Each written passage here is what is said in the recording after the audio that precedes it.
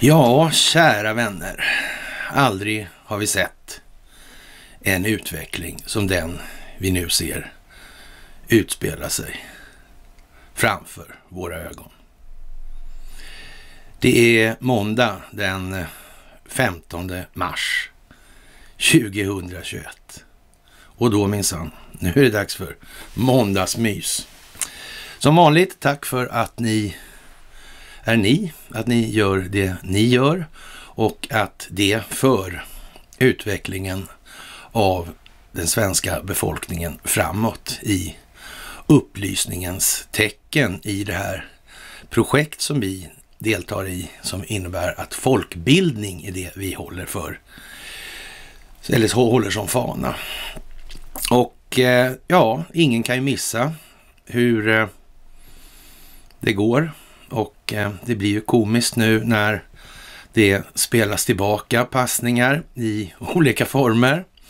Och eh, det är tacksamt naturligtvis som kvittens på det vi gör. Alla kan se det. Det är ingen som missar det. Ja, alla ser språkbruket, uttrycken, antydningarna och så vidare. Det är stackel på i Sverige som alla kan se.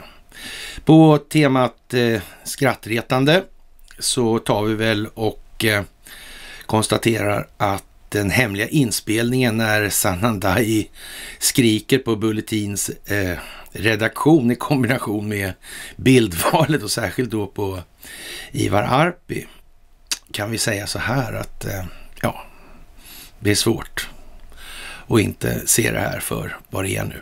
Det är meningen. Det är samma sak över hela linjen, vad det än gäller. Så ett varmt tack för era insatser, att ni hjälper till att sprida det här. Ett varmt tack för att ni ser till att fler människor söker sig till kanalen. Ett varmt tack, eller många varma tack, för ert stöd med gåvor och bidrag på Swish och Patreon. Och naturligtvis ett stort tack, det största tacket för er fördjupning på karlnorberg.se. Det är det viktiga, det är det allt handlar om, att befolkningen utvecklar sig. Det är även så att telegramtjänsten fungerar och eh, det är bra att tänka på att det sammanfattas mycket där och det går snabbt att få de olika uppdateringarna till sig om man följer den. Och återigen ett slag för de här föreläsningarna vi har upplagda på Youtube-kanalen. Det är bra att ha dem med sig alltså. De är alltså grunder till allt det här. Det är bra att ha de grundläggande perspektiven med sig om man ska förstå saker ur ett vidare perspektiv. Och eh, nu är det ju inte särskilt svårt att se hur det här konvergerar. Och ja, det är ju inte så många olika utvecklingsriktningar på det här. Och det kommer vi ju vidare fram till idag också.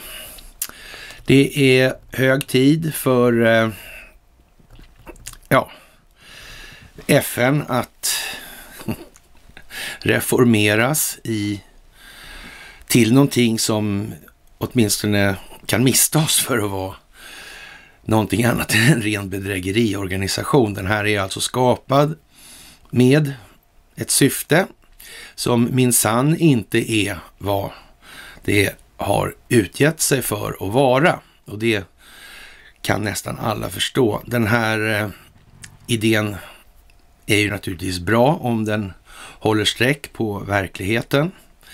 Och eh, ja, vad ska man säga? Hur har det blivit egentligen? Det har blivit sådär va. Men återigen, det handlar inte så mycket om länder som väldigt många människor tror i det här. Det handlar om globala företagsintressen och så har det varit under väldigt lång tid. Och det är anledningen till att vi har den bildsättning vi har idag med den här samurajtypen då, eller den tecknade versionen av mig då med blågult då. Och eh, det har sin historiska grund naturligtvis. Och för att kunna förstå den historiska grunden lite bättre så är det bra om man läser in sig på de här texterna som är delade med den bilden idag. Det är ett så att säga, dokument över hur det här har gått till egentligen. Och som så mycket annat i de här sammanhangen så är det Stockholmsbyråkratin, alltså den institutionaliserade korruptionen som har gjort det möjligt för de här företagsintressena att etablera sig på så vis som har skett. Och jag tror ingen tvekar idag om, i alla fall inte så följer den här kanalen, om vilka intressen det här i grund och botten handlar om. Och det har ju inte på något vis varit så att de inte haft den ambitionen från början. Sen har ju så att säga valet av medel varit, eller valet av tillvägagångssätt behövt vara något situationsanpassat. Men när så att säga den moderna telekominfrastrukturen kom, eller telefonen ska man säga, då, då blev det vad det blev helt enkelt. Det var förslaget så det räckte och blev över uppenbarligen. Man eh, ja, anser då från olika håll att eh, till exempel den här OPCV då, att eh, ja, man måste, eller rättare sagt man anser så här att den här Doma-incidenten då med kemiska stridsmedel. Det är ju lite sådär med kemiska stridsmedel att det har ju en, så att säga, tendens att hela tiden komma vara samma avsändare på de här och det har naturligtvis skett med opinionsbildningssyfte för att kratta manegen då för kommande utveckling. Men nu har man så att säga inte den problemformuleringen längre, eller problemformuleringsinitiativet längre, utan nu rullar eller slår pendeln åt andra hållet med en allt högre hastighet. Och det kommer att bli precis som det ska. Men det kommer ju att vara lite gnissel under resans gång också. Det är ju inte så att man tvättar ur den här korruptionen då sådär jätteenkelt. Och som sagt, ni ser själva hur det här tar sig uttryck i USA just nu. Det är alltså inte lite grann vi pratar om här. De här krafterna har hållit på väldigt länge och har naturligtvis gjort vad de har kunnat för att se till att deras situation är bestående och utvecklas i en riktning som är önskvärd för dem. Och därför ser det ut som det gör just nu och det tar lite tid och det måste spelas i rätt ordning, de här olika utspelen. Vi har pratat, ursäkta, vi har pratat en del om det här med adoptionerna och det är ju naturligtvis en industri. Och eh, ja, det är många nu som är adopterade och befinner sig på platser där de kanske inte föddes och framförallt där deras föräldrar inte finns. Och det här är naturligtvis en tragedi. Det kommer människor och säger, ja men de här människorna, de är det så synd om mest. Då adoptionsföräldrarna, då är det mer synd. Det är inte, det är inte li, aldrig lika synd om barnen som är utsatta för Gud vet vad. Och som vi tog upp förra gången, eller om det var gången innan, eller kanske en gång ytterligare innan det. Men det här med att eh, det är ju trots allt barnen som lider skadan i de här sammanhangen. Och att man i första hand måste se till de individernas bästa det, det verkar vara någonting som, ja, som sagt, den mentala träningen av befolkningen har satt sina spår, om vi uttrycker oss så då. Och eh, som sagt, de här organisationerna, det är ingen tillfällighet att Ulf Kristersson har suttit som ordförande för det här adoptionscentrum, eller adoptionsbyrån kanske det heter. Det är bara så.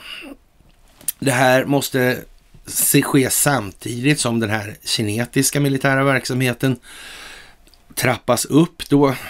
Trappas upp alltså. Och eh, det behövs för att folk måste få en nyktrare syn på vad egentligen det är för någonting. Det här med kinetisk militär verksamhet. Vad, vad innebär det för någonting? Spelar det någon roll med överraskning till exempel? Spelar det någon roll? Har överraskningsmomentet som militär doktrin, har det någon betydelse egentligen? Är det bra att annonsera på förhand när man ska göra saker på det viset och nå största effekt i målet med kinetisk militär verksamhet? Är det bra? Och utifrån det kan man faktiskt bedöma då om är det trovärdigt att man, man, man förbättrar ju inte så att säga sin kinetiska militära verksamhet genom att torgföra den innan. Och så mycket måste väl underrättelsetjänsterna ändå ha jobbat på andra sidan kan man tycka då så att de har en aning om vad det rör sig om. Alltså all mediasignalering gällande kinetisk militär verksamhet är främst opinionsbildande. Det är vad det är. Det är ingenting annat. Det, är liksom, det blir inte mer räckvidd, räckvidd på en robot eller högre sprängkraft på en stridsspets eller så vidare. Det får man tänka på. Men det här är någonting som folk i allmänhet inte tänker alls på och aldrig någonsin har tänkt på. Utan det här har ju varit någonting som har skett genom den situation vi befinner genom att medierna har gjort vad de har gjort. Utan mediernas insatser gällande Hiroshima och Nagasaki så hade det inte kunnat bli något kallt krig. Terrorbalansen hade aldrig kunnat upprättas som doktrin överhuvudtaget. Den var nödvändig helt enkelt. Vilka som har tjänat på det här? Upp till en var att bedöma, som vanligt. Men det är svårt att undvika de gemensamma nämnare som faktiskt finns i de här sammanhangen. Det är mycket, mycket svårt nu alltså. ja då. Det är ju så att alla tycker inte det är lika roligt, helt enkelt. Och det här som sker på nätet nu, det ha förtröstan. Ha förtröstan. Alla är inte lika glada.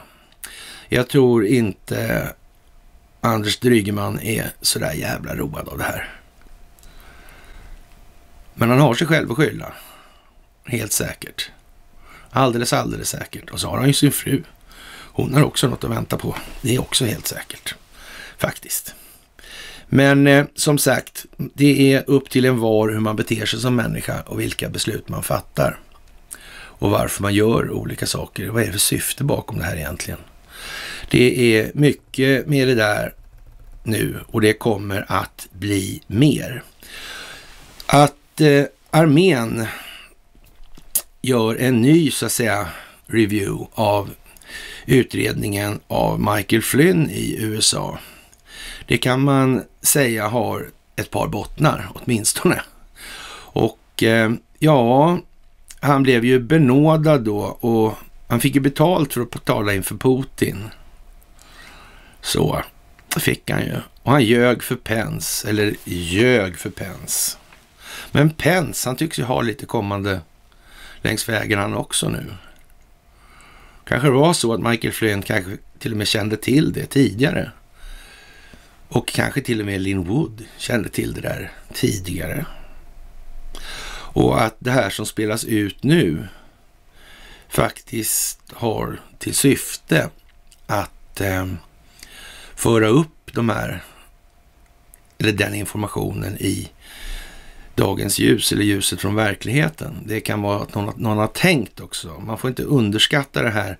Vilken roll spelar det här i sitt sammanhang? Och det sammanhanget då, det handlar ju om vilka parallella perspektiv det finns och hur sekvenserna i, eller hur de här perspektiven har flutit på fram till idag då. Och jag kan väl säga först som sist att eh, den roll som Michael Flynn spelar, den är ju vad den är, men inte till någon ringa del så är Michael Flynn medveten om att den amerikanska militären inte består av enbart otadliga människor. Alltså det finns en hel del militärer inom den amerikanska reguljära sidan som inte har den högsta moralen när det kommer till vad som är det allmännas bästa och vad som är enskild nytta. Och någon politisk militär, det är ju som sagt inte någon sådär jättelyckad historia att ha faktiskt. Ungefär som en politisk polis eller ett politiskt rättssystem. eller man har ju gjort då som i Sverige, att eftersom pengarna är det käraste som, ja, man, ja, som människor har då i gemen, så är det man köper ju till exempel barn och sånt där, det har man inga betänkligheter mot och så vidare. Det är ju faktiskt så att då måste man ju ha en politiskt oberoende riksbank i den här kulissen, för det är mindset som ska ha verkat gällande i det här landet. Det ska man också tänka på. Det här är ingenting som folk sitter och gissar ihop bara. Det har man tänkt på länge. Bank of Jamaica har idéer om att börja köra digital valuta vid början på 2022. Och det är ju naturligtvis ingen tokig idé givet att det jamaikanska banksystemet är, så att säga, vi säger väl som han sa 1931, där den här Sommary, Felix, vi säger väl så här, det är några saker som ska vara uppfyllda först. Mm.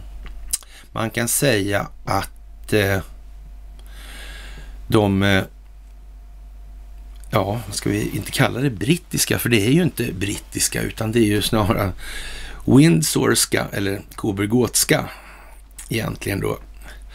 De här offshore-paradisen, offshore-bankingsystemet.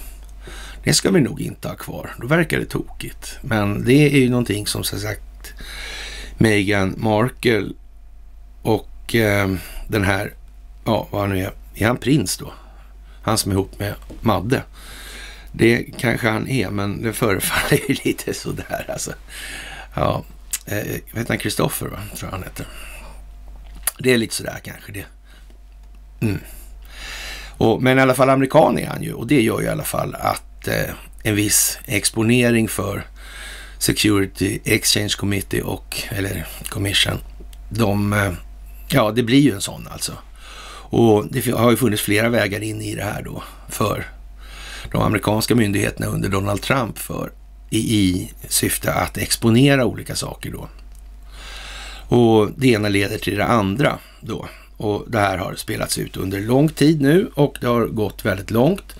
Det är som vi har sagt hela tiden, det här kommer att eh, rulla in i Sverige utifrån och då vill det till att eh, inte bara vi förstår bakgrunderna i det här och hur utvecklingen har gått till. Det är, ja, naturligtvis anmärkningsvärt. Och med USA kan man säga det här med New Sweden och eh, alla de här grejerna. Det är ju lite pinsamt och eh, Joe Biden han är, ja, han är lätt förtjust i Delaware helt enkelt, eller hur man nu ska uttrycka det. Delaware will be written on my heart and the hearts of all the Bidens, skri ja, sa han häromdagen då i ett infall av minnesfunktion inte den vanliga dysfunktionen, utan det fungerade i alla fall och då slängde han ur sig där. Och det kan man väl ta på allvar eller så. Han menar någonting med det. Och det är ju en historia som vi har dragit några gånger nu och det är bra att känna till det. Det svenska inflytandet i USA är precis som på andra håll inte särskilt obetydligt. Det är större än vad alla föreställer sig. Både de i de länderna och i landet Sverige. Det här är gammalt och det har hållit på. Det krävs muter för att etablera sådana här system. Det är så. Och sådana system ska vi inte ha mer. Det får vara färdigt med det här nu helt enkelt. I Sverige är det naturligtvis så att nu går det inte att muta längre ner. Nu är det, ja, det är, genom, det är fullt inmutat så att säga. Så det kryper fram ur i princip alla perspektiv man betraktar tillvaron. Så är det den här korruptionen faktiskt exponerad och det kommer bara att bli värre. Och uppenbarligen så har de så att säga folkvalda eller den folkvalda församlingen i riksdagen då, den har ju inte slitit ut skorna på springa för att få ordning på det här alltså. Utan de har ju faktiskt tänkt på sin egen lilla matsäck i sammanhanget. Det är fyra åtalade för mutbrott vid upphandling i Region Skåne kommer fram här nu och Det är alltså en räcka med saker som inträffar. Många, många, många. En del saker är ägnade att avslöja medierna och deras inställning i olika sammanhang och med vilket syfte de agerar för att göra det tydligt för befolkningen, för att befolkningen ska lära sig att inte okritiskt bara köpa det som förmedlas av medierna, samtidigt som då myndigheter och medier går ut med att man ska bara tro på det de säger och inget annat överhuvudtaget är bra. Men då kan, och samtidigt får vi se då att fyra åtalas för mutbrott och det är ju inte exakt det enda, så att säga, mutåtalet just nu. Det måste man, och det här måste folk börja förstå nu. Det krävs att människor engagerar sig. Det krävs att människor talar om för sina barn. Vad är det här för någonting? Vad är det som händer? Det går alltså inte att stilla köpa och låta det ha sin gång. Det är inte okej. Okay. Alltså det är inget, det är inte att ta samhällsansvar och tro liksom att det här kommer att fixa sig. Det kommer inte alls att fixa sig bara av sig själv. Det är vi som måste fixa det här, ingen annan. Det är vi som måste upplysa. De här medierna och de här indoktrineringsorganen eller verktygen, de har haft sitt syfte hela vägen. Inget annat. Och man kan säga att om man inte har lyckats räkna ut hur det här sitter ihop och fungerar ännu, ja men då har man inte gjort sin läxa. Det är bara så. Och eh, ja, det kom ju en uppsjö med insatser, tramsiga insatser från medier och myndigheter i det här. Och alla kan se det. Men det är som kejsarens nya kläder. Det gäller att våga skrika, han är naken, han är naken. Det gäller att se det fusk. Det är bedrägeri. De ljuger. Det är, det är vad som gäller. Det gäller att våga stå upp för det man tror på. Inget annat. Det är viktigt alltså. Ja, det är Ekobrottsmyndigheten har eh, överklagat friande skattebrottsdom mot Allra-topparna. Och det är väl kanske ett tecken i tiden i det här. Folk blev ju galna. Deras pensioner är det ju viktigaste för dem, deras pengar. Bara man får pengar så är allting bra. Då kan man äta de pengarna. Det är gott faktiskt och ingenting annat spelar någon roll och ju mer pengar man har desto bättre är det. Det är många som resonerar så svenskt. Det är ungefär som Svensk Sven Duva. Och han blev ju skjuten i huvudet och eh, det gjorde ju ingenting. Den kulan visste var den tog så att säga. Det är ju lite trist att behöva konstatera, men det är i alla fall, ja, det är som det är. Det är Facebook och Mike, eller Mark Zuckerberg som eh, sitter i hissen lite här och var, men det är också opinionsbildningsövningar. Det är så bara. Och eh, Facebook är någonting som man hade klart för sig tidigt, måste kunna användas på rätt sätt i opinionsbildningen. Och eh, man har spelat det på det viset sedan länge. Och återigen, det är inte så att Facebook existerar särskilt länge utan sina servrar kopplade till telekominfrastrukturen. Det är så bara.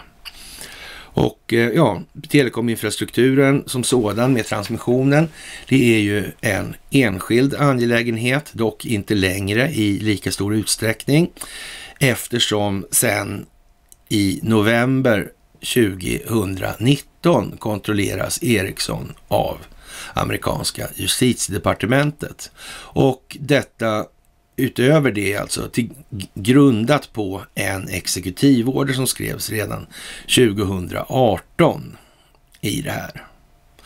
Och det är ju någonting som snör ihop den säcken rätt så ordentligt och det är ingen som kommer ur det. Att USA vägrar släppa AstraZeneca-doser till EU är ytterligare ett sätt att göra det som den djupa staten alltid har gjort. Man härskar genom söndring. Man ser till att USA behåller sina och tänker på sin befolkning.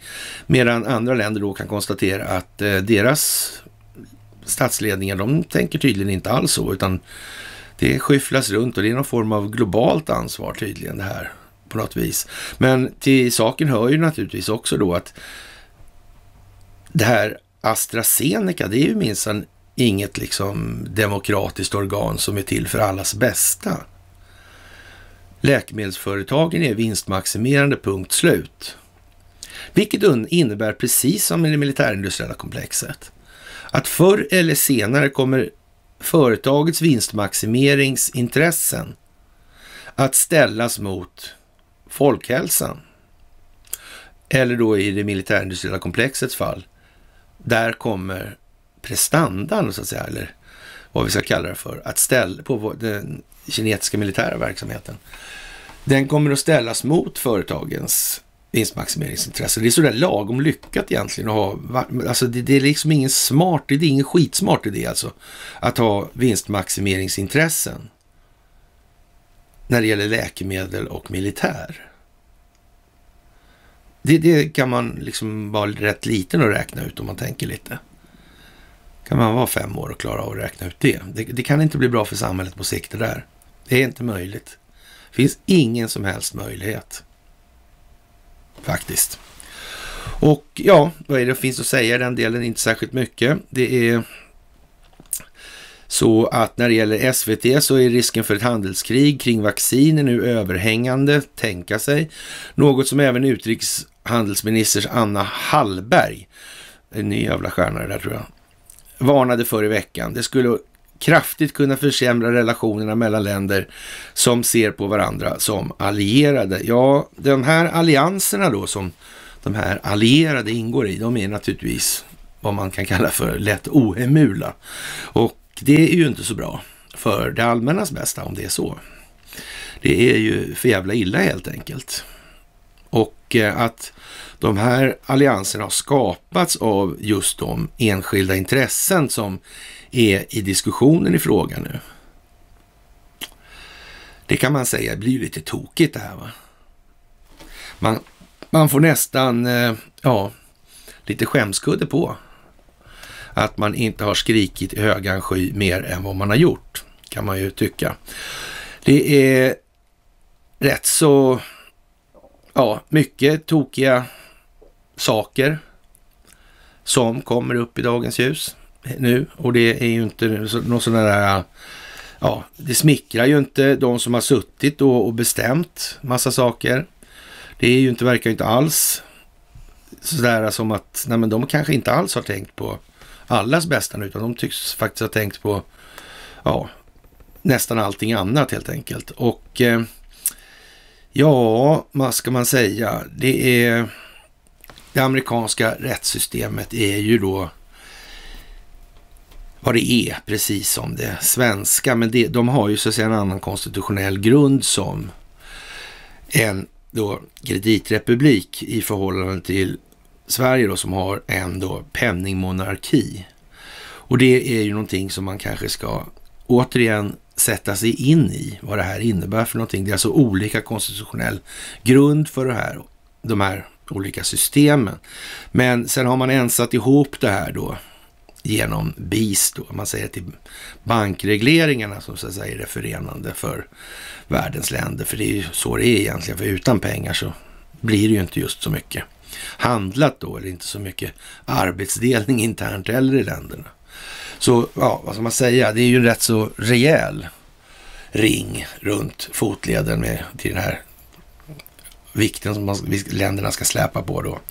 Och eh, ja, det är samma gäng som de här trevliga filantropimiljardärerna som finns av den anledningen att man ska hålla på med sådana här eh, politiska lobbyorganisationer och styra politiker. Det är som att säga, det här är mutorgan alltså, egentligen. Så, för de här globalistintressena och det är ju som sagt, det är samma jävla gäng hela tiden och eh, de gör ju som sagt inte så mycket utan en telekominfrastruktur. Så enkelt är det bara. Och i värsta fall så kan man ju alltid ta bort strömmen för dem då om man vill. Och då är de sådär lagom uppkäftiga efter en stund. Och eh, i ett varmt land som Argentina till exempel så kan man ju kanske tänka sig att själva ja, födoämneshanteringen kan bli lite lidande då om det blir strömlöst en stund, ett par dagar eller sådär. Då kommer det bli lite hungrigt där nere kan man ju tänka sig. Fantastiskt nog så händer det ju en massa saker i massa olika länder samtidigt. Och händelseförloppens gemensamma nämnare tycks konvergera rätt dramatiskt nu. När det gäller Myanmar till exempel så bestämde militären att det var fem stycken mediaföretag som blev av med sina sändningsrättigheter. Och eh, nu får oppositionen hålla till på Facebook. Mhm. Se där ja. Se där ja. Ja. Man får väl hoppas att Donald Trump hade klart för sig att Facebook eh, skulle vara med då i det här. Men han kanske inte nödvändigtvis behöver tala om att han hade räknat ut det. Ännu. Men det kommer. Alldeles säkert. Det är också så att eh, de här, eh, ja, vad ska vi säga, våra kollegor då på, i andra länder, de har ju inte riktigt samma, så att säga, ja, insikter i kärnans beskaffenhet och belägenhet då. Så vi ser ju lite olika på tingens ordning i verkligheten i förhållande till vad de gör. Utifrån det, alltså vi som har så att säga satt oss in lite mer i de här frågorna. Och det är klart att eh, när till och med de börjar tycka då att, eh, ja, de kan ju tycka både det ena och det andra naturligtvis, men det här med civil lösning på situationen i USA, det är ju naturligtvis någonting som är att föredra. Därför att det är lätt hänt att det går överstyr alltså. Det har ju egentligen aldrig funnits något sånt här utrymme för den här ensamme galningen som torgförs som baneman, höll jag på att säga, men i alla fall förövare eller gärningsman i så stor utsträckning som det görs i västerländska medier. Den har ju liksom inte... Nej, det, det hade aldrig fungerat. Det där är vad det är, kort sagt. Och eh, ja, när de här militära grejerna, om det skulle bli så, vilket vi absolut inte hoppas, utan vi hoppas verkligen att det här kan gå via domstolarna och gärna komma nerifrån då alltså.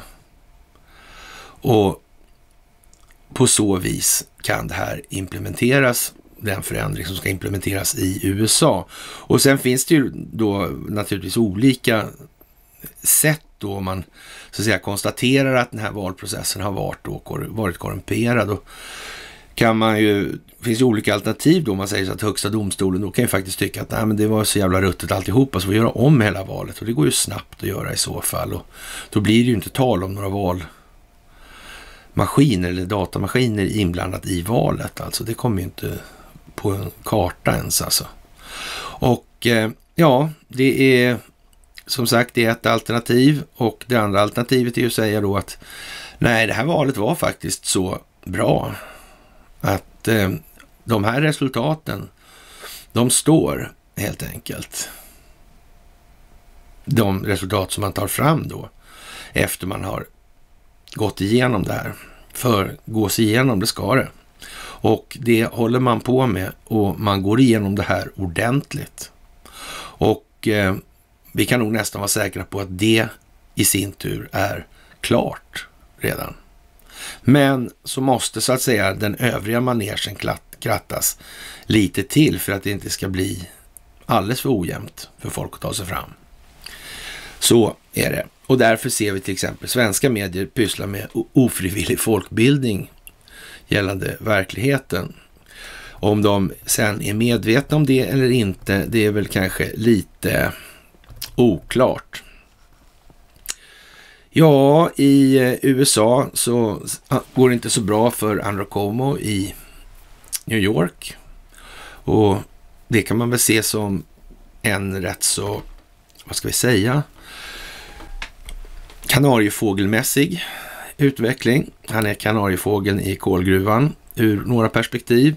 Han var ju då, så att säga, han skulle ju kunna tänka sig att bli vicepresident då under Joe Biden tidigare här och det var ju det ena med det andra och eh, ja, nu var ju inte det den roll som man hade tänkt att Andrew Cuomo skulle spela i det här sammanhanget, utan den rollen var någonting helt annat och den ser vi nu. Han ska exponera hur ruttet det här egentligen är. Och eh, det gick ju jättebra att gnälla och klaga på Brett Kavanaugh och han, då hans påstådda sexuella förehavanden och eh, märkligt nog så förefaller det vara så att den här herr Como-guvernören, han tycks vara 6 000 miljoner resegånger värre.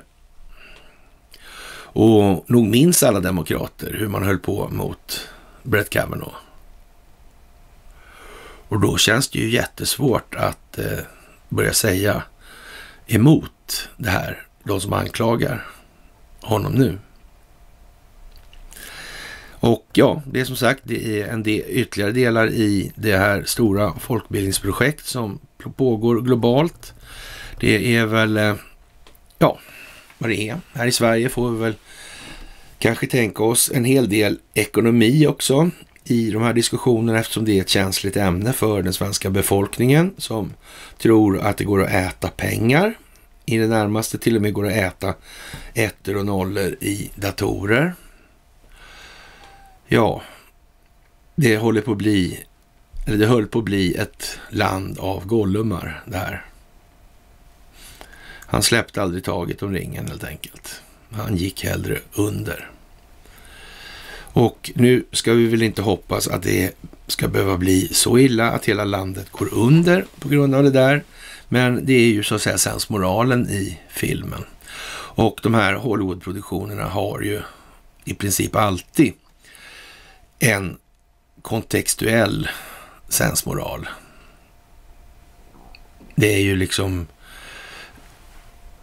Man får inte bara tänka en gång liksom att det där kan vara det, utan man får tänka därför att och det ska leda till och så vidare. Det blir lite, annars blir det lite fel helt enkelt. Ja, det kommer att bli bra naturligtvis. Det ekonomiska museet i Stockholm då, det sponsras av Swedbank.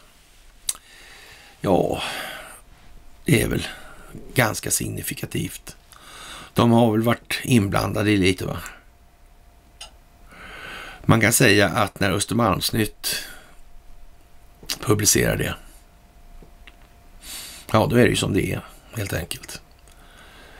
Folk klarar av att komma ihåg att Swedbank har varit inblandad och så vidare. Och att de tycks ha en moral som i alla fall inte överensstämmer med vad folk i allmänhet tidigare trodde. Så är det med den saken.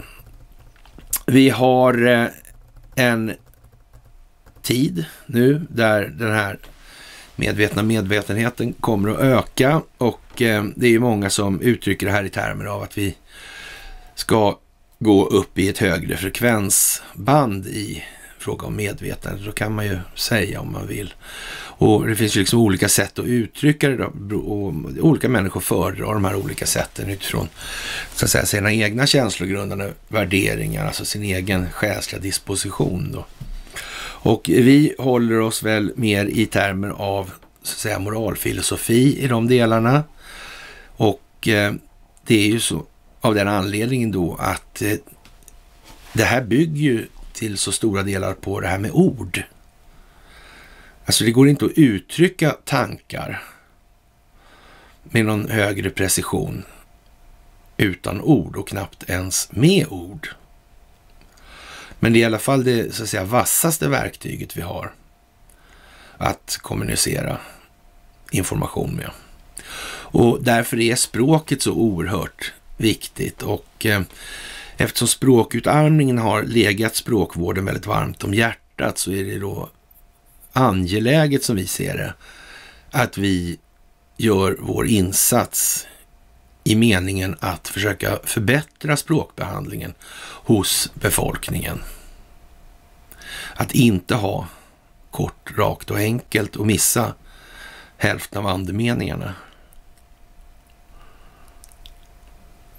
Utan få med så många som möjligt inom en så snäv avgränsning som möjligt. Det är vad det är. Det här är inte populärt naturligtvis.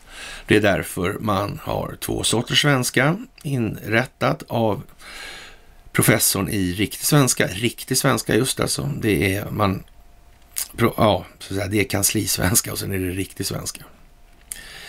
Ja, vad ska man säga? Som inte vi redan har sagt i den delen. När det gäller det själsliga så är det alltså, visst, man kan prata om frekvenser, man kan prata om dimensioner i det här, men i all egentlig mening så handlar det ju om graden av självbetraktelse eftersom alla betraktelser utgår ifrån den egna självbetraktelsen. Genom sig själv ser man sin omvärld. Eftersom man bara kan uppleva sina egna känslor. Det är liksom inte svårare än så egentligen. Men det är klart att man, ja, man kan ju vara lite olika lagd sådär romantisk och sådär. Och eh, det är klart att det är charmigt med den gamla romantiken. Så där, det är ju klart. Men, men, man får ju samtidigt vara lite, ja, så att säga, allvarlig i de här sammanhangen också och faktiskt inte ge efter på sin egen språkvård och sin egen insats i att för sig själv alltså beskriva känslor man upplever och ifrågasätta om det här är lämpligt. Är det här bra? Är det här rationellt? Är det här, vad är det här och varför då? Vad är det för någonting egentligen? Är det egentligen, blir jag egentligen glad av det där? Och varför blir jag glad av det? Blir jag ledsen för det? Varför då? Vad beror det på? Hur kommer det sig? Är det rimligt? Vad innebär det här för andra? Ja, för själv vill man ju inte vara på hela jorden. Det verkar jättetråkigt. Faktiskt. Ja, och så vidare. Och vi har ju skrivit en massa, massa, massa artiklar om det här och därför så, ja, jag, så det börjar bli svårt att komma på fler vinklar på det där. Liksom. Och eh, vi håller på med en e-bok och en sammanställning på alla de här artiklarna. Och eh, ja, det, den kommer att finnas att läsa på nätet också naturligtvis. Och eh, ja, det är ju vad det är helt enkelt. De som inte har hållit på med själslig utveckling i någon jättestor utsträckning, det är Stockholmsbyråkraterna. En eh, Stockholmsbyråkrat som har suttit i hovrätten är ju naturligtvis en sorts figur. En som har suttit i högsta domstolen är en annan sorts figur. Det kan man ju säga. Man eh, brukar då i militära sammanhang säga att gränsen går någonstans vid urvalsbefordran. Då kan man ju tänka sig, vad är det för valkriterier som kan tänkas gälla där då? Som eh, någon närstående militär sa en gång, om folk hade klart för sig hur svängdörrarna mellan Försvarets materielverk och militärindustrin såg ut, då skulle de bli väldigt förvånade. Och så är det väl naturligtvis. Även här, vår Brutus, skulle man kunna nästan säga då. Det handlar om det svenska rättssystemet också. Det är samma sak där givetvis. Man har en domstol i form av Högsta domstolen som har prejudicerande verkan. Man har inte varit så dum som man har underlåtit att se till att den går att styra. Det finns liksom inte, alltså det kan ingen på allvar tro. Alltså så dum får man inte vara. Så dum får man. Varför skulle man underlåta det när man finansierar juristutbildningar i andra länder till en jättestor omfattning? på jättemånga platser. Där har man ju fattat det, uppenbarligen. Och det gör man inte av någon allmän välvilja. Glöm det. Det finns inte. Och eh, ja, vi har ju vår käre Lamberts som har visat, ja i alla fall i några sammanhang, tecken på, ja, vi får ju se hur det blir med, med så att säga, själva rätt, rättegången eller de rättsliga påföljderna kring det där. Men man kan ju säga att oavsett vilket så säger det ju någonting alltså. Blir han friad så kommer många tycka någonting om det här svenska rättssystemet och blir han fälld, ja, då är det ju vad det är helt enkelt. Så att det förekommer det i sig, det är ju någonting som säger en hel massa saker faktiskt. Och eh, det är de tiderna nu. Det handlar om det svenska rättssystemet, sa Robert O'Brien, tidigare nationell säkerhetsrådgivare i USA. Och eh, ja, vad ska vi säga? Vi förstår det helt enkelt. Det är vad vi kan säga. Det finns inga möjligheter att det är så mycket, på så mycket annat sätt. Det går inte att hålla på och muta över hela världen och sen är det helt fritt från påföljder på hemmaplan. Det går inte. Och man mutar målvakter och det är bulvanverksamhet på mutorna och så vidare och så vidare. Svensk uppfinningsrikedom den har inte minst tagit sig uttryck i ekonomiska sammanhang med i form av olika bolagsformer, aktiebolag och så vidare. Ja, världens första aktiebolag fanns i Sverige alltså. Och olika stiftelser och de här grejerna. Det, det är liksom inte där Sverige har varit sist på bollen om vi säger som så. Det är ingen slump liksom att den som satt för, som stod för rådgivningen i så att säga, reformationen av det tyska banksystemet innan andra världskriget där under Adolf Hitler, det var just densamme då, så att säga, Marcus Laurentius Wallenberg där. Och eh, ja, det är vad det är. Införandet av BIS skedde i samband med det här också. Och där har vi den här regleringsbanken som då alltså Stefan Ingves har varit ordförande för Baselkommittéerna som gör de här reglerna för bankerna globalt under hur lång tid som helst. Han varit det. Och det här är en soppa som är rutten bortom ja, vad som borde vara möjligt. Verkligen. Det borde aldrig ha kunnat gå så här långt. Det är en flathet och fänad hos våra föregångare som kanske inte kan klandras för den saken skulle egentligen. För de ansåg väl naturligtvis att de inte hade någon chans och då gjorde de ingenting och sen gick det där i arv då. Och om någonting ska kallas arvssynd så är det väl det då. då. Färnaden och inte, alltså underlåtenheten att agera. Det där är föga ärofullt. Det är oärligt, är vad det är. Och eh, vi får exempel på det, någon eh, juridisk byrå som håller på och fifflar med sina klienter och eh, stämmer dem då på arvoden. Och det är klart att de har ju stämt mot, eller de ska ju få de här arvodena tycker de. Och eh, de har dessutom då i förhandlingar innan då eller så att säga, talat om för de här klienterna att det här med kostnaden är ju ingen, vi stämmer ju i princip mot del i vinsten. Det här och det får man inte göra i svenska rättssystemet egentligen, men det är ju så att säga ett sätt att dölja det här den här metoden på. För det, det här återigen, det handlar om att då de här advokaterna, gör, eller juristerna då, ombuden, de gör upp det här med arbetsgivaren. Så att arbetsgivaren och advokaterna eller juristerna är de som tjänar, eller ombuden då alltså, är de som tjänar till den större delen på det här. Medan då den här klienten hålls i ovetskap eller hålls ovetande om hur det här egentligen har gått till. Och det är bara ett av en oräknelig antal, eller ett oräkneligt antal sätt att ja, bete sig. Alltså, återigen, det är som Donald Trump säger. Det finns ingen advokat som säger nej till rikedom och berömmelse. Det är inte några samhällstjänare i en utsträckning värd namnet. Det är inte det. Faktiskt.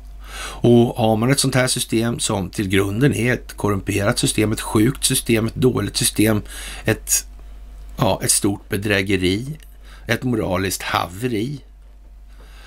Ja, då blir ju så att säga de som bär upp det här systemet följaktligen också några som måste ha det som åskådning, alltså som mål och syfte med sin tillvaro. Det går inte annars. Vi hör inga eh, som kreditjurister tala om skuldmättnad. Lika lite som det fanns professorer i planekonomi som sa att det här är, inget, är nog inget sådär jättebra system och, som, och dessutom är det så jävla korrumperat så det liknar ingenting. Det är ju som det är bara. Vi har rätt, problem, rätt stora problem med psykosocial ohälsa i det här landet. Det är naturligtvis som, som en konsekvens av systemets utformning i kombination med den själsliga disposition som befolkningen har och därför blir det som det blir. Det är inte bara en och annan som stoppar i sig mediciner för att må bättre eller kemikalier. Det är naturligtvis i så mått och väldigt viktigt för de här vinstmaximeringsintressena att kontrollera de här substanserna som människor stoppar i sig. De kan liksom inte springa runt och vara lyckliga där utan att de åtminstone har betalat för det. Jag menar, då kommer ju inte så mycket att fungera i, i det vinstmaximeringssamhället. Det är helt givet faktiskt. Och eh, ja, magisk svamp testas på 15 patienter är man tvungen att släppa till nu. Och i naturen så finns det ju allt som oftast balanser. Det är ju så att säga det som naturen handlar om. Det är ett balanssystem hela tiden. Och eh, ja, det finns medel mot obalanser. Och så finns det medel som ställer till obalanser. Och Eh, ja, man kan väl utgå ifrån att de som skapar medel som ställer till obalanser och har, som dessutom har vinstmaximeringssyften bakom att skapa de här obalanserna. Det är vad det är helt enkelt. Och eh, ja, den här eh, historien med att jurister gör upp bakom ryggen på klienter. Det är nog tyvärr en mycket, mycket, mycket större fråga för svenskt vidkommande än vad i princip alla utanför de där skråen kan föreställa sig. Det är ju liksom man kan ju tänka sig, alltså det finns ju en anledning till att advokater då, advokatsamfundet finns till exempel, de kan ju så att säga, ja, det här med att ta offentliga medel i anspråk för att försvara klienter då till exempel i brottmål och så vidare. Det här är, och, och, men inte ens det håller de liksom så för heligt att tafsa på. Utan de skyfflar ju på så mycket de kan alltså. Rakt av. Det är bara så. Och det här har ju spårat ur fullkomligt för länge, länge, länge sedan. Och eh, att, man, att på något vis tro då att de här människorna är mer motståndskraftiga mot korruption, det är ju hål i huvudet. Den, den själsliga dispositionen hos en människa, det är ju så att säga, den är ju känsloberoende. Moral är inte värt någonting utan känslor. Det finns ju inte. Alltså, det går inte. Moral utan känslor är inte värt någonting. Det, det är bara så alltså. Då är det artificiell intelligens. Helt enkelt kan man ju dra det till om man vill. Och det här är ju naturligtvis, alltså, och, och tro då att, vad man säga, rättsväsendet består av några emotionella genier. Jag menar, nu var det ju så här, skulle inte den där rättvisan vara blind till att börja dagen med? Men nu kan den vara blind om de ska vara känsla, vara så, så att säga, emotionellt intelligenta. Då är ju så att det är ju lättare att få anslag då också, känsloanslag. Så det, alltså, det håller inte ihop någonstans i botten där. Det är, alltså någonstans, ingenstans. Det håller, inte, det håller inte ihop på ett enda ställe helt enkelt. Det är helt koko faktiskt. Och ja, man eh, kan väl tänka sig att det här är någonting som kommer att komma upp rätt så ordentligt, för här är det ju välutnyttjat så att säga. Den Stockholmsbyråkratin är ju någonting som har funnits ett, ett tag och eh, det här kommer ikapp. Vi har ju hållit på med hållhakar i det här landet rätt så länge. Det får man ju också ha klart för sig givetvis och eh, ja, man höll på med olika grejer för länge sedan och det gjorde Josef Goebbels också som hade då ett sånt här, ja, en sexherrgård helt enkelt.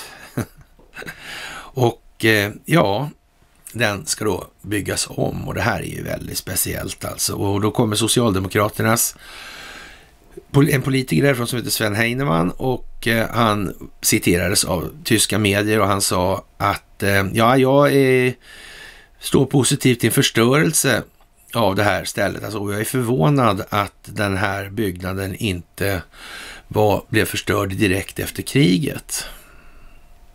Jaha. Jaha. Man kan väl säga så här att det är väl ganska så stor risk att eh, någon har lagt rabarber på informationen. Det får man väl ändå gissa. Det känns som att det ligger liksom, ja. Eller?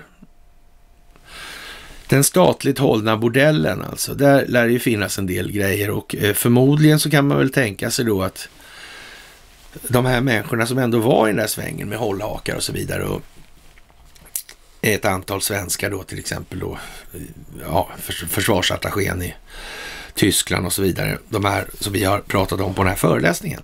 Det är liksom, ja, Helmut Ternberg och de här till exempel och så vidare. De har en rätt så given roll i de här sammanhangen. Det kan vi nog vara rätt säkra på.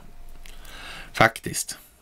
Och det var ju inte alla i Tyskland som var lika förtjusta i de här eskapaderna. Och då gällde det väl så att säga att få dem under kontroll på ett eller annat vis. Så det vore väl jävligt märkligt om inte nazisterna höll sig med den typen av verksamhet internt. Det är klart de gjorde. Självklart var det så. Men de fattar man spelar det här spelet. Det hade man fattat i underrättelsetjänsterna för oj, oj, oj, oj. Det var länge sedan. Det var länge sedan. Och eh, ja, det blir väl intressant att se vad det innebär och det kommer visa sig helt säkert.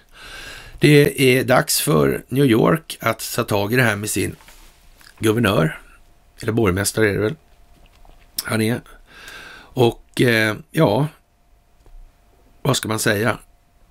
Nu begär folk inom Demokraterna att han ska avgå.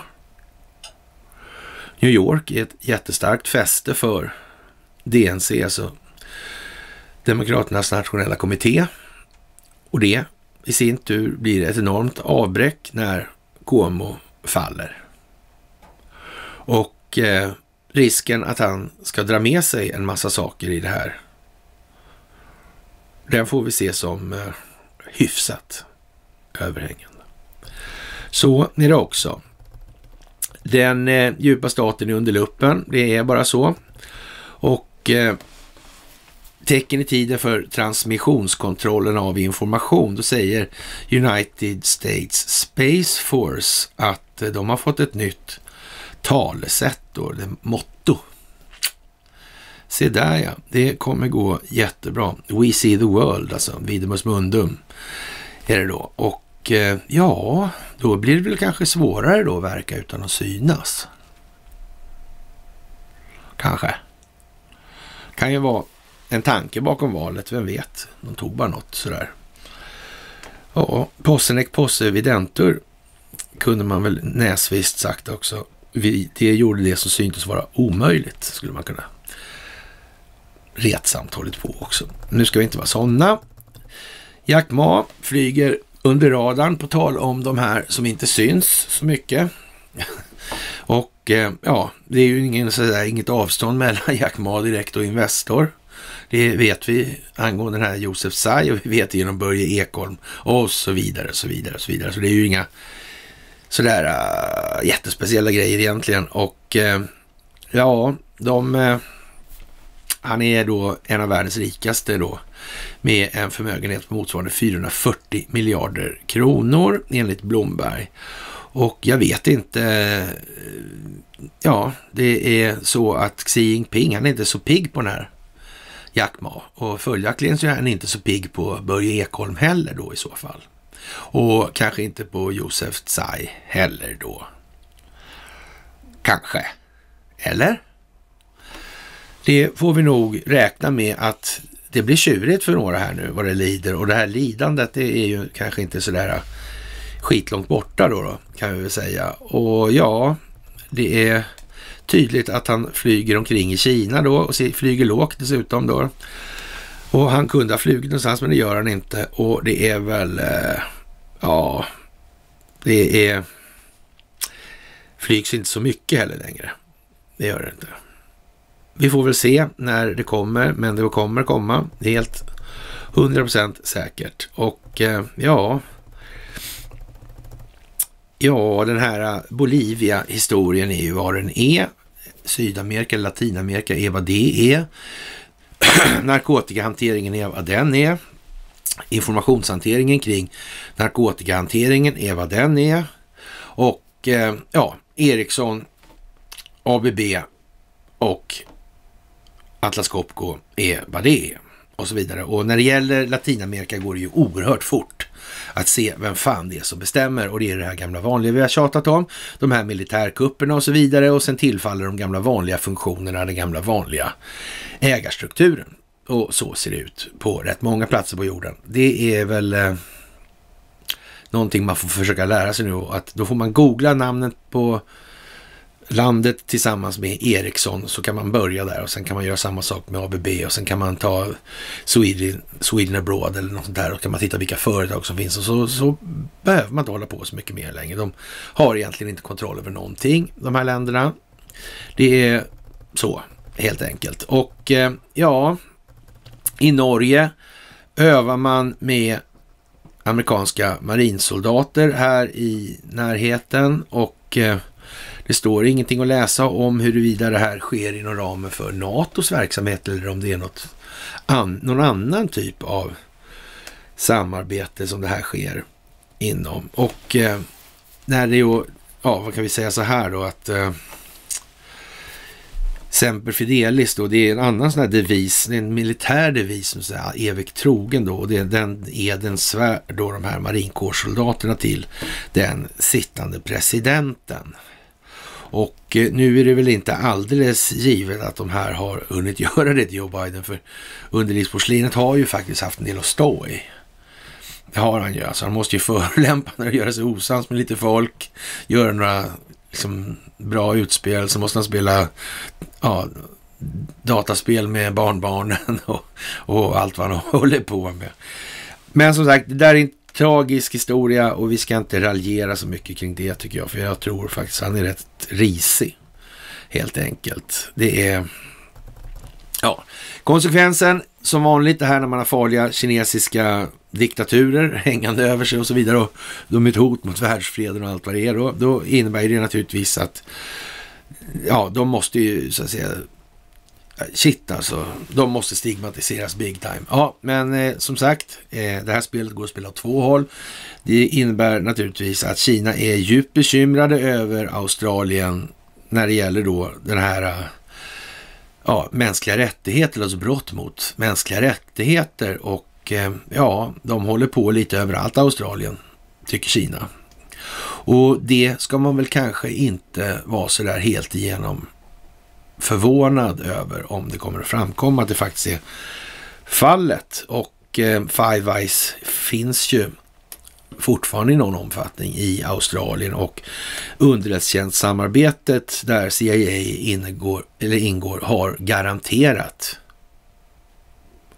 hemliga, alltså black sites alltså, hemliga fängelser, sådana som Gina Haskell var chef för. Det är alldeles, alldeles, alldeles säkert. Faktiskt är det inte ens upp för debatt. Så Kina har fullkomligt rätt i de sammanhangen. Det går, det är obestridligt på det viset. Men det är ju inte riktigt så det framförs här hemma då. då. Sen så var det ju det här med det här datacentret i Frankrike som började brinna. Där de, ja, det är mycket, mycket speciellt. Ryssland hävdar att eh, det här datacentret i Frankrike det tog bort tillgången för, på, eller, ja, till Google och YouTube då för Ryssland. Mm. Och Google säger att det inte är sant. Det kommer att visa sig, men det är ju som sagt de här serverhandlarna serverhallarna har ju börjat brinna lite mer nu på sista tiden om vi säger som så. Och eh, om man mäter det så att säga, ja, parallelliteten i sekvenserna här så ja, nu är det vad det är kort sagt. Och det här fantastiska molnet då som svävar över oss alla där uppe och liksom ja, där alla data, all data lagras liksom, precis som att det var någon, eh, ja, jag vet inte, helt enkelt molnsådd kanske, vad vet jag. Och det här är ju liksom, ja, det är bortom patetiskt nu. Det är faktiskt det. Och eh, ja, men som sagt, det måste med fler på det här tåget. Och ja, vad ska man säga? Det kommer fram att eh, det är överviktiga som drabbas mest av det här med covid. Covidiotin. Mm. Kan man ju tänka sig. Och hur man nu vet det utan att testa dem. Eller rättare sagt om man inte har tillförlitliga tester. Det är ju intressant kanske. Men vi, som sagt, vi behöver inte fördjupa oss i de här virologiska diskussionerna. Det här är till sin absoluta huvudsak en maskning av den ovillkorliga ekonomiska utveckling som samhället i västvärlden eller hela världen står inför i och med att det här systemet är skuldmättat. Och det tror jag vi har sagt några gånger då. då.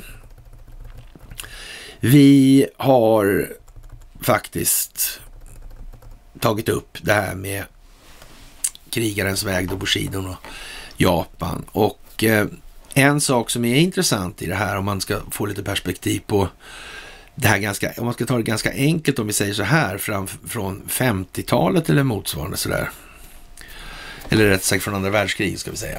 Och då kan man säga att det bodde en oerhörd mängd med, folk, eller med västerlänningar i Japan. Om man tittar på den här Spielberg-filmen, då Empire of the Sun, of the Sun så det är helt otroligt det där med de här gosskörerna som sjunger Sugan där. Det är naturligtvis också trevligt så, men att sitta och men det är ändå anmärkningsvärt att se hur man hade så att säga hela samhällen etablerade inne i, alltså gated communities motsvarande, inne i städerna. Hur kommer det här sig?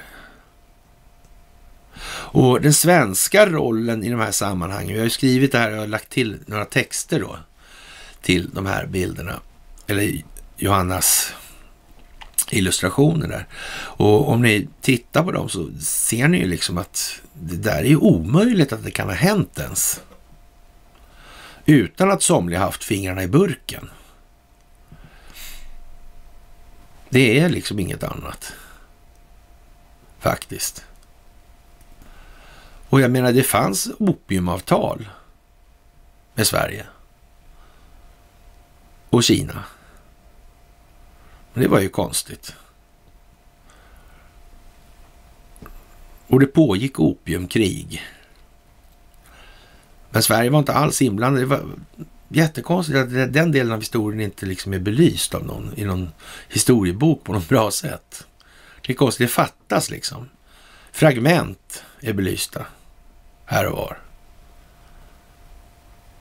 Men inte förrän när plattformarna och nätet som sådant kommer till som vi har möjlighet att lägga ihop det här själva.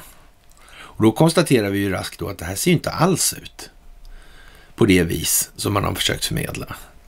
Japan är inte ens i närheten av att vara på det sättet vi har lärt oss. Och vi valde ju då vid den här föreläsningen då i Trosa att ta upp det här då i samband med rysk-japanska kriget. Då har vi så att säga nu då, eller jag idag gjort den här lilla sammanställningen på Japan då över tiden och 1800-talet.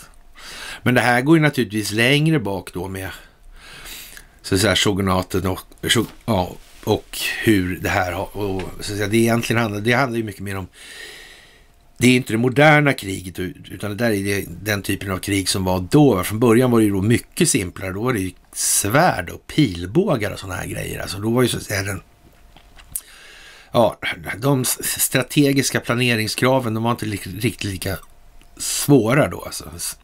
Det, det, var inte lika, ja, det var inte så komplicerat. Det var lite enklare faktiskt. Och eh, ja, man fick ju ljuga bättre och, och bedra sådär naturligtvis. Men det blev ju vad det blev helt enkelt. När vapnen kom så blev det annorlunda. Och Sveriges roll i det här med att sälja kanoner, det har ju... Alltså den, den, den, den är historiskt framträdande då, då, Så kan vi säga. Så har vi inte i alla fall tagit i för mycket. Och eh, ja, om det nu ens är möjligt att ta i för mycket. Det här har ju hållit på sen, alltså ända fram till nu. Håller fortfarande på så. Det må ju vara vad det är va. Och eh, sen en annan kul grej här att Birger Schlaug kände sig manad att tala om då att eh, ja, det här med demonstrationer och så här, det är konstigt. Han gillar inte den här tusenmannamarschen. Vi har legat lågt när det gäller att snacka om de här så att säga, rättsliga grunderna till det här om man skriver det är vår rättighet och det är det ena med det andra. Men det är lite så här, men nu känn, och, men det är också en mycket märklig historia. Varför säger ingen till om det här har vi tänkt då? Liksom. Men då är det bättre att sen vänta och se vad, vad gör de ingenting för egentligen? Det här är ju jättekonstigt. Och jag har pratat med Birger Schlaug rätt länge och eh, man kan väl eh, säga så här att ja, en hel jävla resa från Gotland då. då. Och eh, ja, då hade den här Occupy-grejerna varit då. Eh, nej, ja just det, nej, Reclaim var det, Reclaim, förlåt. Och eh, ja, det var lite snack om det där med vad de höll på med. Och eh, han vet väl ungefär om att ordning på, eller allmänna ordningsstadgan och de här grejerna. Så han visste ungefär att jag visste de här grejerna. Så kan vi säga så här. Men i, då kan vi säga så här också att Birger Schlaug han skriver en litet inlägg på Facebook då idag och sen så en av våra grundlagar är regeringsformen. Där beskrivs bland annat yttrandefrihet, demonstrationsfrihet och mötesfrihet. I denna grundlag som talarna på manifestationen påstod sig värna så hett kan para, i paragraf 24 läsas följande. För den som orkar, vill och inte anser det är något som stör den infantila retoriken. Och, och så långt är det ju naturligtvis, det är helt rätt. Det är så. Det står så här. Mötesfriheten och demonstrationsfriheten får begränsas av hänsyn till ordning och säkerhet vid sammankomsten eller demonstrationen eller till trafiken. I övrigt får dessa friheter begränsas endast av hänsyn till rikets säkerhet eller för att motverka farsot. Mm. Det finns alltså redan en sån här möjlighet i grundlagen att införa begränsningar i det här. De hade lika bra, men de talar inte om att det här finns i den här paragraf 24. Det är rätt så speciellt. Utan man låter det här tjafset trumma på. Och varför gör man då det? Jo, det gör man därför att det just står så här. Eller för att motverka farsot. Vad händer om man konstruerar en farsot? Om enskilda intressen, om Stockholmsbyråkratin konstruerar en farsot eller en farsot helt enkelt säger att det är en farsot. Då blir det ju inte så där riktigt bra. Och har man institutionaliserad korruption så är den här, ja, 24 eh, paragrafen,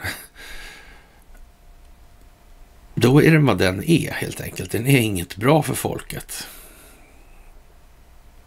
Det är ju där vi står nu. Vi måste ha ett annat juridiskt system. Det handlar om det svenska rättssystemet. Att Birger Schlaug gör som han gör nu, det beror på att han har suttit för länge i tv-sofforna. Helt enkelt. Och eh, det kan han väl tänka på, antar jag. På det viset. Han är väl inte så nöjd, låter det på tonläget som. Men eh, ja, det är lite sådär speciellt i på olika håll naturligtvis. De mindre medierna får ju, det får gå den vägen baklänges nu helt enkelt. Och eh, ja, vad ska man säga? När eh, en ny rapport visar att svenska mediers undfallenhet var påfallande under pandemins inledning. Hur påverkade det Sveriges strategi i Borås Tidning? Det kan man ju säga är lite speciellt faktiskt. Och sen, ja, det är en alltför hovsam press lydde naturligtvis. Det var inte första gången. Det är som Ivar Överströms uttalande i andra kammaren. Helt enkelt. Varken mer eller mindre. Det är, ja, vad ska man säga? Och det kan vi säga så här, men läs, läs de här artiklarna om Japan idag. Alltså det där är ganska bra också, för man kan säga så här, det är inte det enda som är likt den andra kammaren här, Det alltså kammarsystemet i Japan och det kom ju någonstans ifrån helt enkelt. Och, och så vidare, det här och de här kanonerna som man köpte någonstans ifrån och så vidare och ja, det är samma systematik i det här, precis som vanligt. Och ingen ska vara förvånad över att familjen Hirohito fick Serafimerordnar på löpande band faktiskt. Ja, eller två i alla fall då. Första Hirohiton och andra Hirohiton där. Och ja, det är som det är. Det är när eh, Fauci ber Trump om hjälp med, mot vaccinvägran, då kan vi väl eh, säga att det är speciellt. Och det här sker alltså samtidigt som ICA delar ut gratis vaccin till de över 65 och Ygeman svarar på frågan från en reporter om inte det här diskriminerar då de yngre som inte får vaccin. Och då svarar Ygeman att de kommer att få vaccinet om det visar sig vara ofarligt. Ja, där är vi ungefär nu i folkbildningskampanjen och eh, vi får ju naturligtvis inte springa för långt före. Det här med ledartröja, det är ju vad det är då liksom. Men det är en sak att leda för att leda. Och det är ju någonting, det går inte, det ska man inte diskriminera på det viset. Det innebär att man inte ska lämna folk på efterkälken heller. Men för den sakens skull så kan ju inte den längst fram dra alla. Ja, de längst bak, de bakom måste dra de bakom sig. Så är det också, så det blir som ett fiskstim så här. Och eh, ja, det är väl eh, lite speciellt när en indisk minister hotar att stämma SVT efter Scania-avslöjandet, alltså för förtal. Och det kan man väl tänka sig att det här svenska rättssystemet duger ju inte någonting till och det kan man ju också tänka sig då att den stora skadan väcks eller skapas i Indien då. Och det i sin tur kan man då tänka sig kan innebära då att det kan vara ju faktiskt en rättslig grund för det här. Och eh, det kan ju vara intressant att se utvecklingen på den lilla händelsen faktiskt. Det är nog en tanke bakom det också. Och Anders Ygeman hävdar alltså om du inte vaccinerar dig kommer du inte kunna göra samma saker och ja, man kan ju också säga att om de yngre inte vaccinerar sig så kan de i alla fall inte springa runt och demonstrera ute så mycket ju säkert. Och det kanske är en tanke bakom det också. Då får man till och med få ut de som är yrkesdemonstranter eller yrkesuppviglare skulle man kunna säga. Det finns lite olika teman man kan dra på det där. Och eh, ja, vi får väl se vilket det blir helt enkelt, vad som utkristalliserar sig med tiden. Så, och eh, ja, nu har det blivit en ny spindel naturligtvis. En spindel har blivit med Greta. Och eh, ja, vad ska man säga? att hon är spindel i nätet då, eller att hon kommer någonstans ifrån där spindlar i nätet finns. Eller där det finns spindlar i nät, ska vi kanske uttrycka det som. Och ja, det där är ju vad det är. Den här, så att säga, sin, de här signalvärdena man kommunicerar nu, det, ja, det är ju lite sådär halvtråkigt för oss svenskar att konstatera att det är rätt många som faktiskt ser det för vad det är också. Och eh, vi har varit i diskussioner om religion många, många, många gånger och eh, att då kyrkan inte skulle ha institutionaliserad korruption. Att inte kyrkan skulle politiseras när precis allting annat har politiserats och korrumperats. Det är ju liksom ingenting som Stockholmsbyråkratin har missat. Såklart inte. Manövern med statskyrkan, ja, det, det är vad det är liksom. Det, det är bara så. Det måste man acceptera. Det fanns ett syfte, ett egentligt syfte med det här. Och jag antar att Gud sa inte så mycket just vid det tillfället. Om, om han sa varken till, var han tillfrågad då eller hur? I deras andliga mening. Om inte, an, om inte så har de svårt att förklara hur det kunde bli så här. Faktiskt.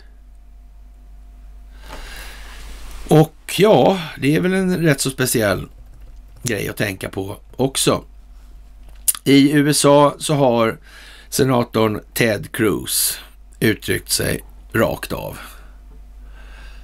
Att delar av den amerikanska militären, alltså flaggmänniskorna, alltså de, ja, generalamiral, uppåt alltså, de är politiska. Själva syftet med den amerikanska konstitutionen är ju alltså att inte ha en politisk militär. Det är ju därför den står som den gör då, så att säga. Rent konstitutionellt. Och eh, den måste rensas. Och då kan man väl, ur det perspektivet kan man ju lätt tänka sig så här att eftersom man inte vet exakt hur politiskt korrumperad militären är. Det kan vara rätt så svårt att ta reda på det kan jag tänka mig. De som är insyltade lär inte skylta med det alltså. Det fattar de att de inte får. Då, då kan man väl någonstans i det här, alltså några är ju uppenbara, som Colin Powell och de här liksom och så vidare. Det finns ju en hel skock med sådana. Så. Men hur sanerar man det där då? Utan att det liksom blir jättetokigt. Det, det går inte. Det där måste man göra lugnt och metodiskt med eftertanke. Så måste det vara. Och då kanske det inte är riktigt läge, eller har varit läge heller, för de här militära alternativen. För risken är fortfarande hur som helst att om det går till att de här militära alternativen och introduktioner i de här valprocesserna, om det går dit hem så är ju fortfarande risken så att det finns politisk militär inblandad i positioner som kan ställa till ett jävla elände. Så är det också. Så även om, polit, det, även om militären är så att säga avsedd att vara opolitisk så har den blivit politisk och korrumperad till delar. Och därmed måste man vara försiktig. Så enkelt är det. Det får man ha med sig i det här också. Det är som sagt AI, det är ja, vad det är. Algoritmer kan lära sig vilka ansikten man finner attraktiva genom de så att säga elektriska signaler som går i hjärnan. Det är ju absolut sant. Så måste det ju vara. Men eh, det är också så att eh, en känsla kan man inte beskriva till fullo med ord. Det går inte. Den kan bara upplevas. Den går inte att beskriva till upplevelse. Så är det också. Och eh, att AI klarar av att mäta preferenskartor hos individen eller mellan individerna, det är ju också helt givet. Såklart de kan. Och i någon mån skulle man väl kunna säga så här, skulle man ha ett blint rättssystem som behandlar alla lika så kunde man lika bra köra det med artificiell intelligens. Under överinseende av människor. Så kan man också säga. Där då den här datorn har som målsättning att det ska vara och verka för det allmännas bästa. Så är det också. Precis som ekonomin. Det kan bli rätt så stor skillnad om man nu implementerar det här på det sättet, skulle jag vilja påstå. Och sen dök det upp en rolig sak. Donald Trumps signatur är på de nya stimulanscheckarna. Och ja, det verkar ju konstigt att ljuga om något sånt. De flesta kommer ju kunna se en sån här check i USA, så det verkar vara sällsynt konstigt. Och, och i så fall då skulle det... Vad? Ja, eh, annars verkar det vara checkförfalskning kan man ju lite käckt säga då, då för att vara tråkig i Göteborg. Så, och ja, jag vet inte. Det är ju lite speciellt nu i det här. Och eh, de utländska figurerna eller som håller på med upplysning, de, de är snett på bollen alltså. De har inte det här med de här företagsgrunderna och företagen som har existerat globalt under väldigt, väldigt lång tid och vilka syften de har haft med att skapa politiska rörelser i olika länder och så här. Det har de ingen aning om verkar det som. Eller i alla fall en väldigt liten aning om det. Och eh, de har i alla fall kommit på nu att eh, ja, det är någonting med den amerikanska militären. Det har de ju kommit på. Och Eh, man snackar då om att ja, militärindustriella komplexet, ja, det, går, det är ju svängdörrar precis som vi sa tidigare, inte bara mellan försvarsmaterielverk eller och militärindustrin. Det är inte bara däremellan, utan det gäller ju så att säga, det här gäller ju på global skala och eftersom det militärindustriella komplexet är liksom en global företeelse där någon håller i snörena till hjärnan liksom, eller växlarna till hjärnan skulle vi kunna säga. Det är liksom bara vad det är i det här. CIA utan avlyssning är vad det är. Alldeles säkert. Och eh, ja, i Arizona då så gör de det här som vi sa tidigare väldigt, väldigt noga alltså. Och det är Arizonas senat alltså som står bakom det här och det här kommer att, som vi sa från början där, att eh, BB39, där är båten som blev kvar på botten liksom i Pearl Harbor, den måste få upprättelse nu, helt enkelt. Och det ser ut som de faktiskt tar tag i det där ordentligt på ett mycket, mycket, mycket seriöst sätt som inte kommer vara möjligt att bortförklara. Det är så. Det är alldeles säkert. Helt jävla säkert också. Och eh, vem ska betala för sin girighet då, när eh, en tredjedel av alla länder i världen har helt stängt ner sin turism? Vem är det som ska få betala för allt det här? Det är ju jävla kostnader alltså. Och de flesta anar ju att någon ska få räkningen för det här. Ja, man kanske inte ens behöver förstatliga en del företag från, som andra, ägs från andra länder. Man kan ta det som delbetalning helt enkelt. Det är ju så som man möjligen kan tänka sig också.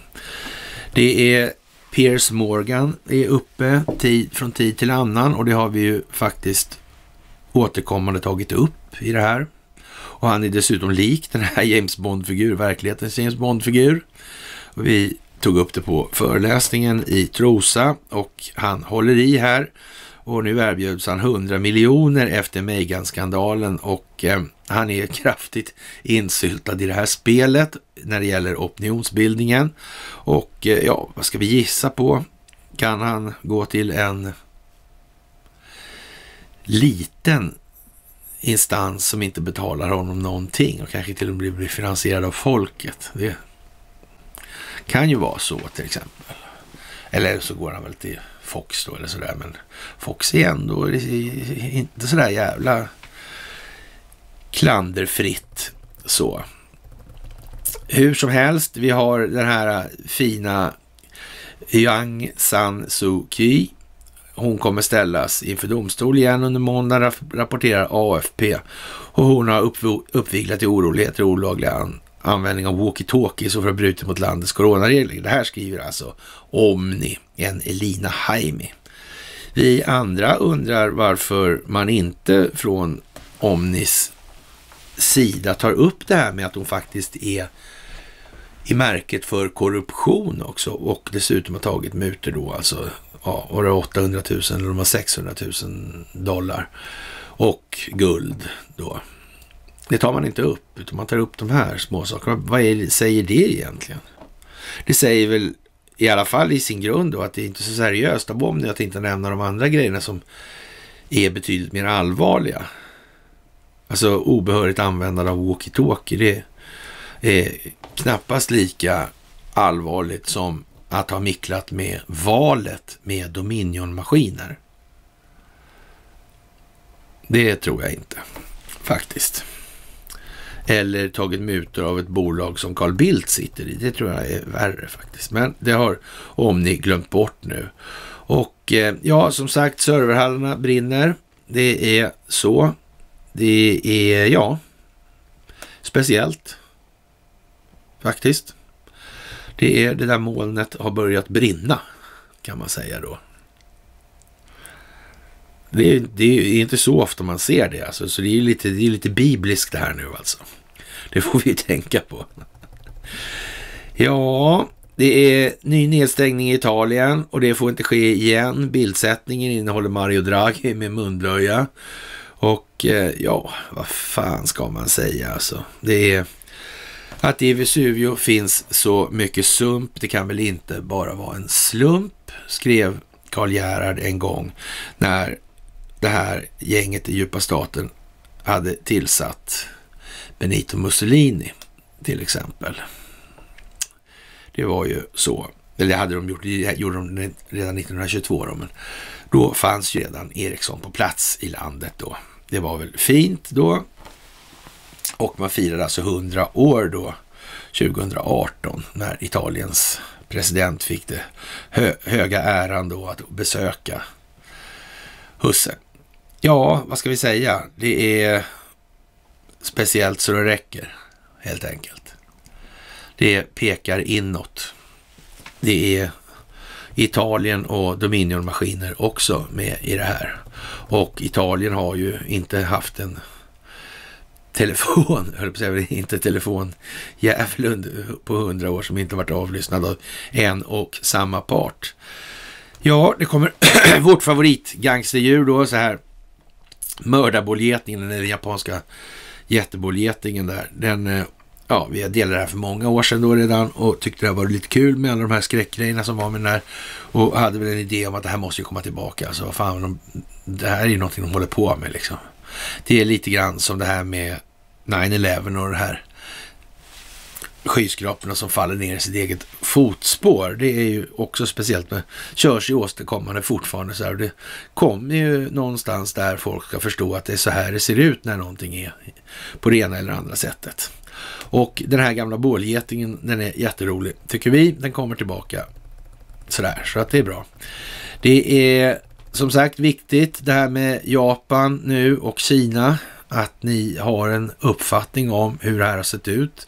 Om man kan inte förstå geopolitik om man inte har en uppfattning om vad som är, har hänt globalt. Liksom. Det måste man ha lite koll på. Man, man ska, alltså, 1900-talet är ju det som man måste, där måste man ha lite bättre koll på ja, utvecklingen i många, många länder så här, vad, vad har varit och så vidare. Och eh, det är ju någonstans så att Sverige har varit också så är det, även om det framhålls från etablissemanget att så är inte fallet, utan det har ju faktiskt varit mycket ringa omfattning och bara i goda sammanhang i så fall. Det har varit vita bussar ungefär, det.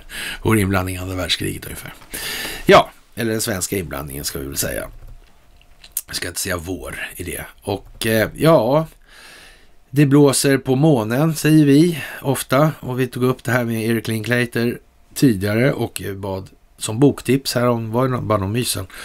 Då Ja, Linklater, alltså kopplingen senare då. Det är en pseudonym han skriver under då. Och eh, det handlar ju om den här Dina Dorinda och där handlar det bland annat om domare Strängberg som vägrar att byta åsikter då. Han vill inte utvecklas som människa. Och eh, ja, vad som händer, konsekvenserna av det och så vidare. Och det är massa olika beskrivande eller ja, metaforiskt beskrivna händelser i det här som man kan koppla in till verkligheten. Det är en jättebra bok att läsa för barn faktiskt. Och till och med i det här landet skulle man säga så här, den skulle nog faktiskt med fördel läsas av rätt många vuxna också. Så.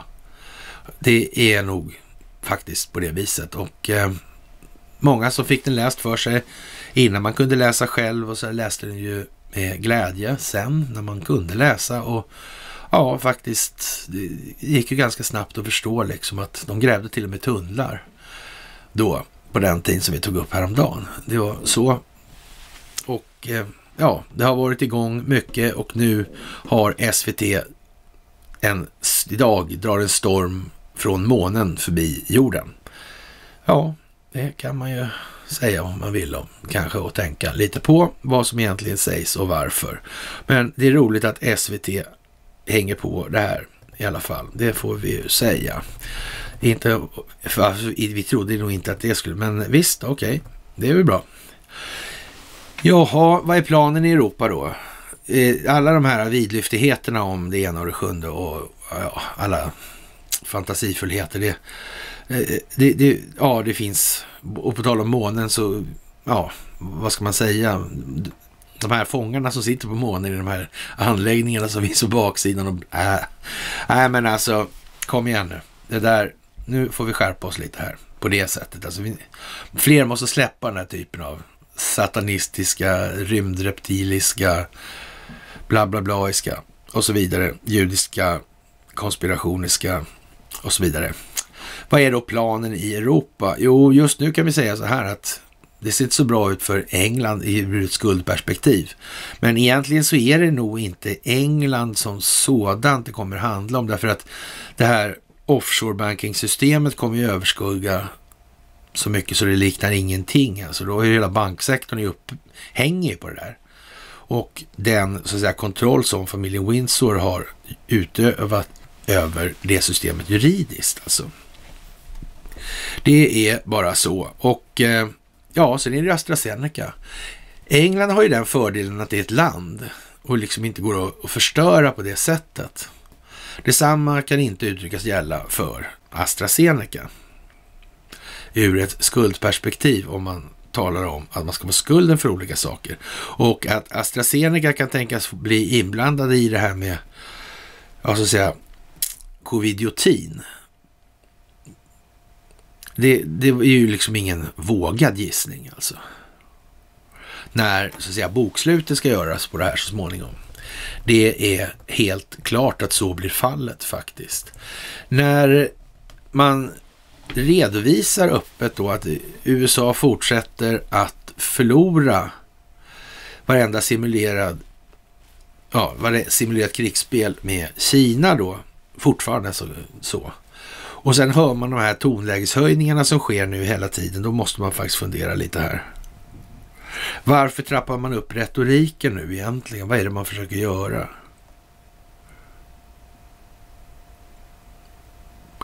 Ja, och eh, men det, blir, det är väl bara att ta sig an Ryssland också på en gång när man ändå är i farten.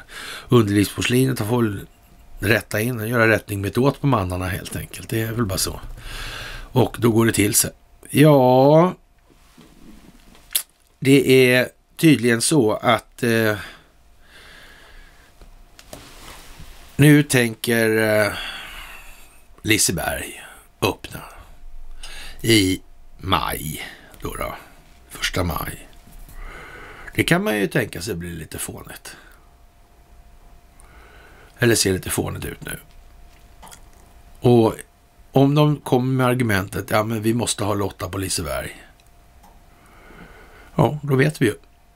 Och eh, det vore kanske lite signifikativt att det här kommer tillbaka till Göteborg som grundades en gång av Gustav II Adolf, min benäget bistånd i form av ränta då eller?